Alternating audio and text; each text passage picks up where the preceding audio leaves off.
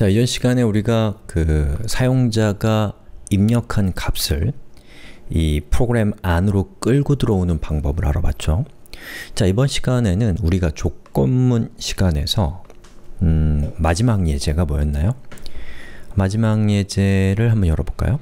자, 여기에 이 input이라고 하는 저 변수에 담겨있는 값이 무엇이냐에 따라서 hello egoing이 출력될 수도 있고 K8805가 출력될 수도 있고 후아유가 출력될 수도 있는 이런 프로그램을 만들었습니다. 즉, 로그인하는 프로그램을 만든 거죠. 그런데 이 프로그램은 그렇게 똑똑하지가 않아요. 왜냐하면 여기에 값이 고정되어 있기 때문에 이 프로그램은 언제나 동일하게 여기 있는 이 값을 바꾸기 전까지는 언제나 동일하게 작동하는 그런 똑똑하지 못한 녀석이에요. 예, 그래서 이걸 똑똑하게 만들려면 사용자가 자신의 아이디를 입력하는 거에 따라서 적당한 메시지를 보여주는 프로그램으로 바꿀 필요가 있다는 것이죠. 자 그러면 우리가 이전에 만들었던 이 두 개의 파일을 그대로 새로운 input, output이라고 하는 디렉토리로 카피해서 저것을 개조해 봅시다. 자, 오른쪽 클릭. 자, 두 개 선택하고요. 그리고 오른쪽 클릭해서 카피를 합니다. 자, 파일을 두 개를 선택할 때는 자, 컨트롤 키를 누른 상태에서 클릭을 하시면 그 클릭한 파일들이 이렇게 어, 선택이 복수로 됩니다. 예, 여러 개가 동시에 된다는 뜻이에요. 자, 그렇게 해서 두 개의 파일을 카피하고 그 다음에 input, output 폴더에서 오른쪽 클릭을 하면 paste, 붙여넣기가 나오죠. 자, 이렇게 해서 파일을 카피했습니다. 자, 그리고 여기 있는 이 파일의 이름을 바꿔봅시다. 자, 5.py는 이제 2.py로 바꿔야겠죠? 자, 그리고 5.rb는 오른쪽 클릭해서 rename, 이름을 바꾼다는 뜻이죠. 2.rb로 바꿉니다. 자, 그럼 이제 우리가 어, 예제를 사용할 준비가 됐는데요. 자, 예제 파일을 이제 열어보겠습니다.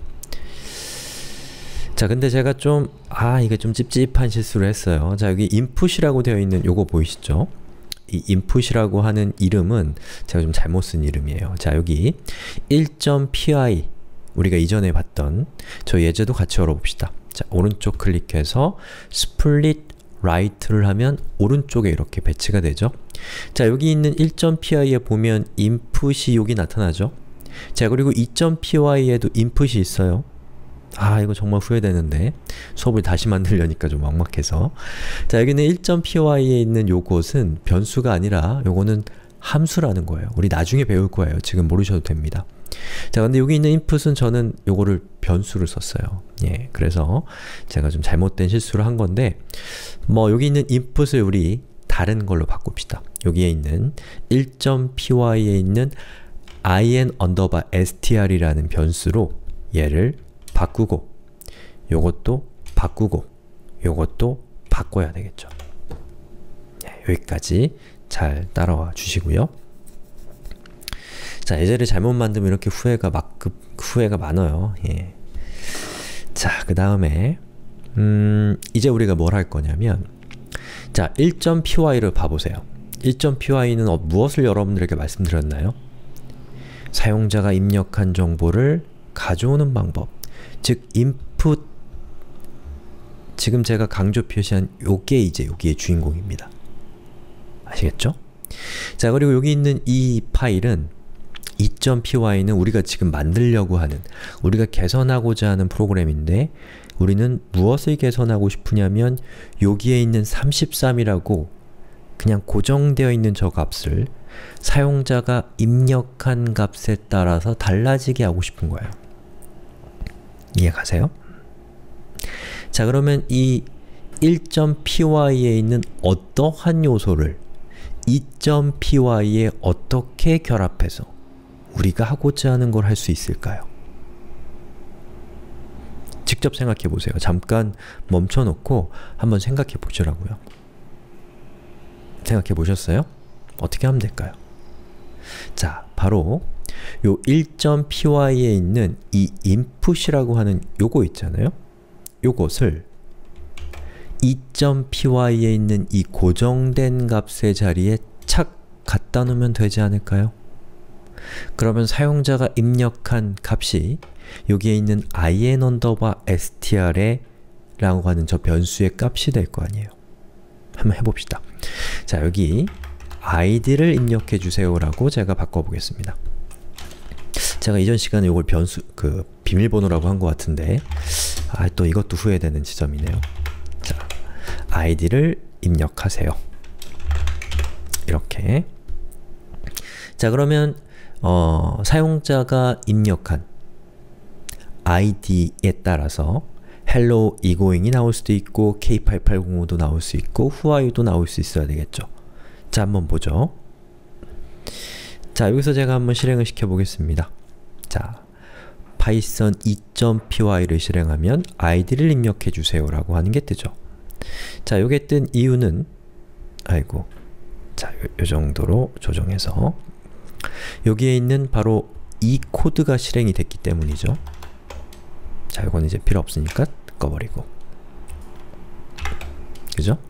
여기에 있는 input id를 입력해 주세요가 실행됐기 때문에 여기에 이렇게 화면이 출력이 된 겁니다. 그리고 파이썬은 여기서 딱 멈춰 있어요. 예, 여기에서 멈춰 있는 상태예요. 이, 이걸 여기 있는 대입 연산자까지는 아직 실행이 안 된 상태에서 대기하고 있는 겁니다.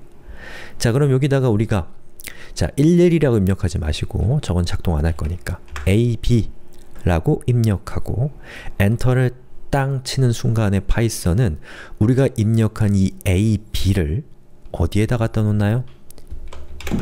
여기에 마치 a, b가 이렇게 있었던 것처럼 작동할 거라는 거죠. 네, 해볼게요. 자, 엔터.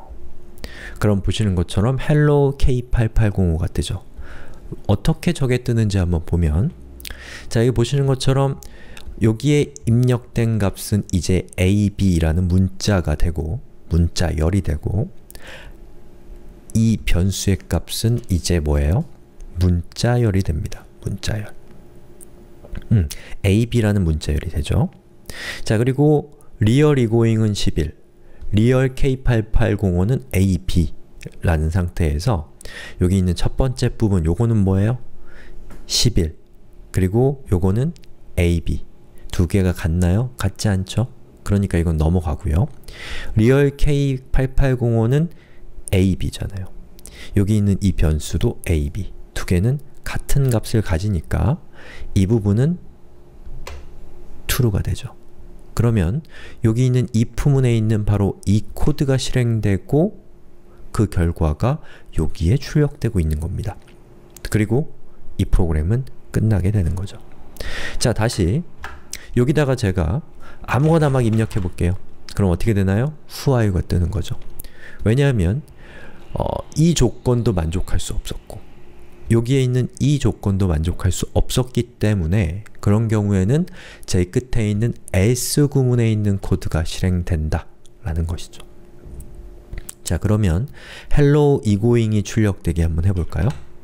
자 여기서 1, 1을 입력하면 실행 결과가 어떻게 되는지를 한번 보세요. you가 뜹니다. 자 이게 어떻게 된 일일까요? 우리는 분명히 1, 2를 입력했고 egoing의 id는 11인데 이거 11이잖아요. 근데 왜 실행이 안 된 걸까요?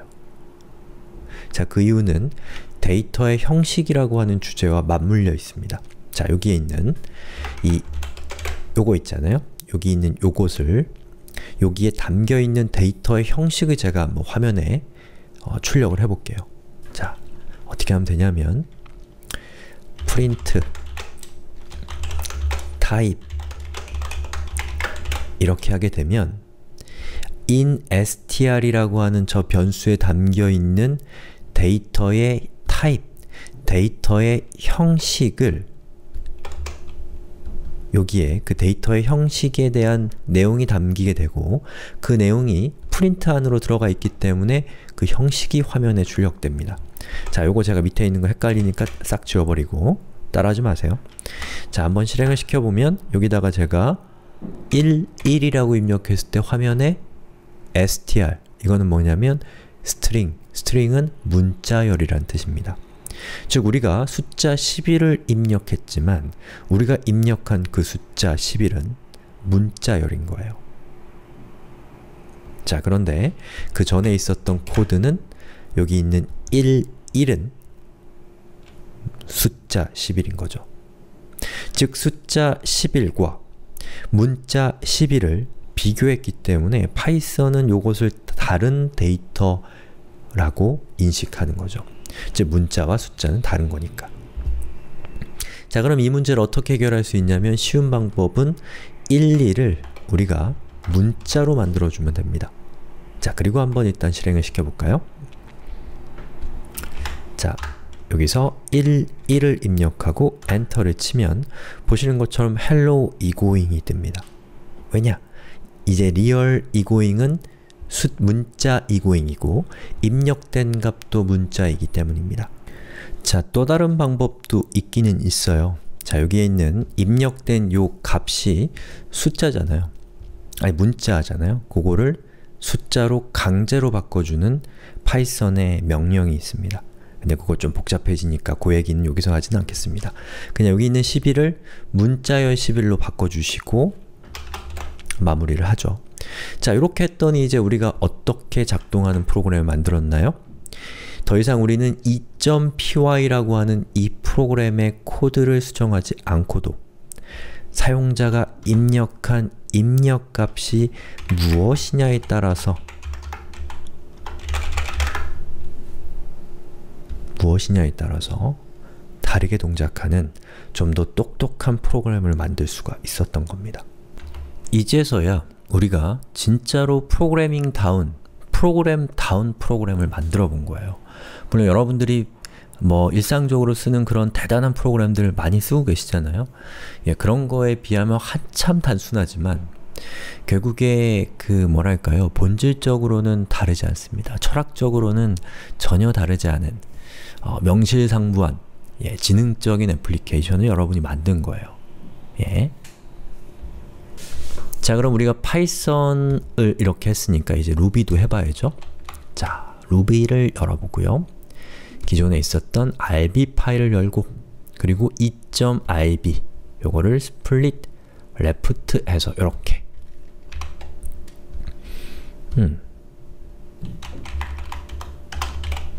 자 그러면 여기 있는 이 루비 파일은 뭘 바꿔야 될까요?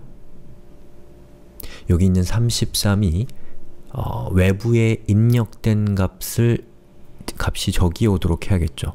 외부에 입력된 값을 루비에서 받아내는 명령은 여기 있는 요거 문법적으로 어떤 건지 아직 우린 모르지만 저걸 이용하면 된다는 거 아시죠?